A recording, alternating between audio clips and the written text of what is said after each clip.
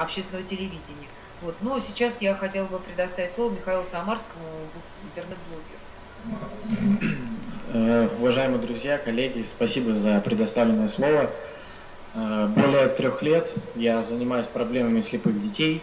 Э, не могу сказать, что государство не помогает этим детям. Конечно, делается многое. Школы, библиотеки оснащаются специальным оборудованием – закупаются э, различные приспособления, аудиокниги, книги шрифтом Брайля, э, улучшаются и условия проживания в школах-интернатах, но говорить о том, что проблем нет или их мало, я думаю, пока рано. Скажу прямо, сделана лишь незначительная часть того, что вообще необходимо э, незрячим школьникам. В первую очередь хотелось бы обратить ваше внимание на образование незрячих школьников.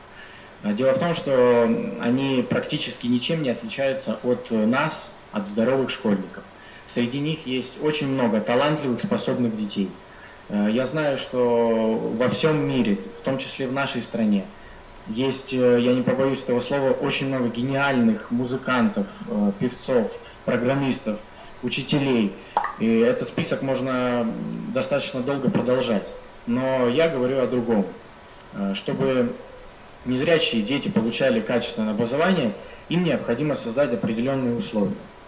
И вот здесь начинается одна из самых главных проблем.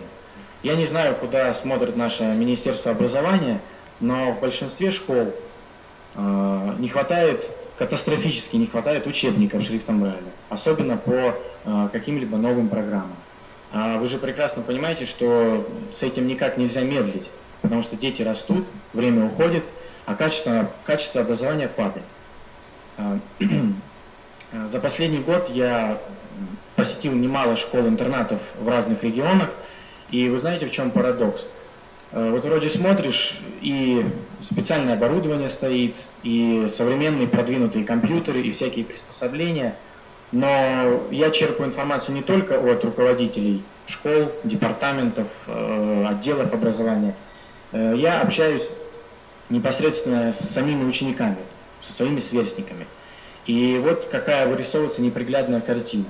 А, очень часто оборудование используется формально и неэффективно, или просто стоит и пылится. Я вам приведу пример. А, в рамках государственной программы во многие школы России были установлены а, компьютеры Apple. Замечательная техника, а, в них по умолчанию есть все, все специальные программы для незрячих людей, то есть они без всяких проблем могут им пользоваться. Они есть на айфонах, на айпадах. Ну, то есть э, такая предусмотрительность у производителей. А, но я, а, вот у меня есть, кстати, письмо от слепого ученика. Желающие вот, потом могут ознакомиться с ним.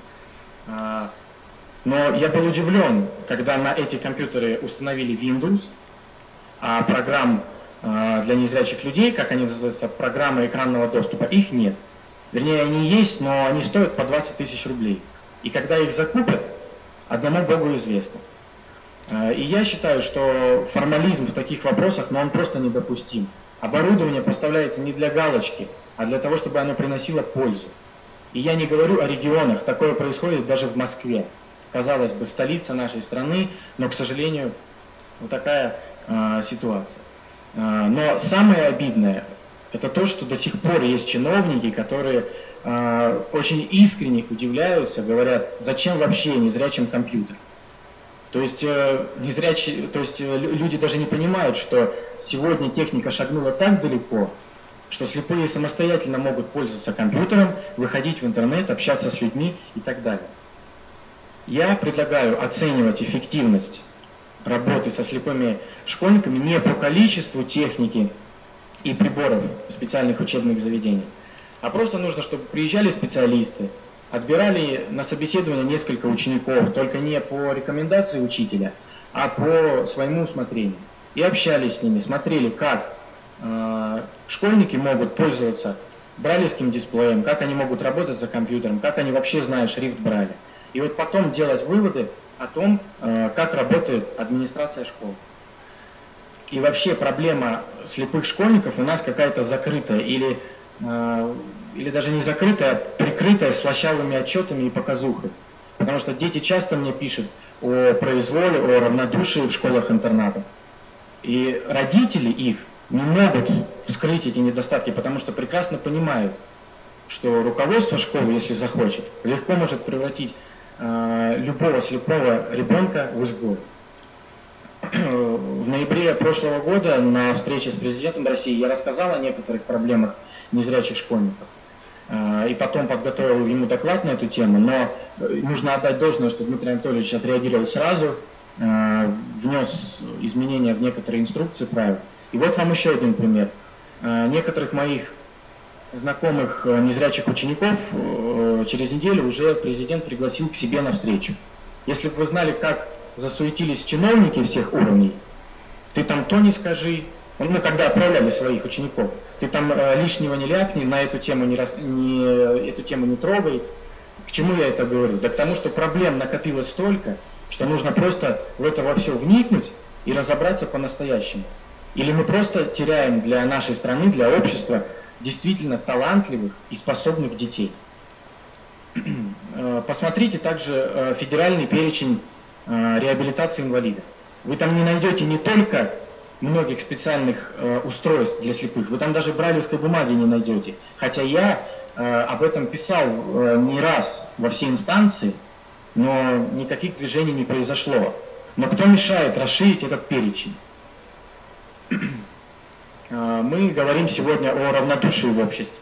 Но, увы, есть такие начальники отделов образования, которые не знают, что на их территории есть э, слепые школьники. Мне не хотелось сегодня конкретизировать ситуацию, приводить какие-то там, называть э, конкретные регионы, школы, департаменты. Это все нужно рассматривать дополнительно. Я надеюсь, что госорганы, общественные организации этим займутся. Но один случай меня просто убил. Э, года два назад я организовал программу э, «Живые сердца», в рамках которой мы помогаем вот слепым ребятам, издаем аудиокниги, книги шрифтом Брайля, с помощью неравнодушных людей закупаем какие-то приборы, новинки, и все это дарим детям. И только принципиально не учебным заведениям, а детям лично. И вот я звоню в, э, в департамент образования города Новошахтинска, Ростовской области, и говорю, так, мало так, хочу э, слепым ребятам подарить э, специальные плееры, диктофоны, э, современные, продвинутые плееры для чтения книг. Начальник департамента от меня заверила, что на ее территории, вот она именно так и сказала, на, ее, э, на моей территории слепых детей нет. Я, заметьте, что население города более 100 тысяч. С одной стороны, это хорошо, а с другой стороны, я не поверил. Я подключил блогеров, друзей по соцсетям, и в, и в конце концов выяснил, что 9 э, слепых ребят все-таки в городе есть. И вот скажите мне, как можно таким руководителям Э, доверять образованию целого города. Э, и в заключение хочется сказать, э, мы приступили к производству художественного фильма о слепых людях. Это, конечно, не боевик, не, триллер, вот, но я считаю, что этот фильм просто необходим сегодня. И, может быть, он нужен больше даже нам с вами в большей степени, чем незрячим. И если кто-то желает принять участие в финансировании этого проекта, я буду признать. И просто давайте не будем забывать, что э, кроме нас, зрячих, э, слепым людям никто не поможет. Спасибо. Спасибо большое, Михаил. Спасибо.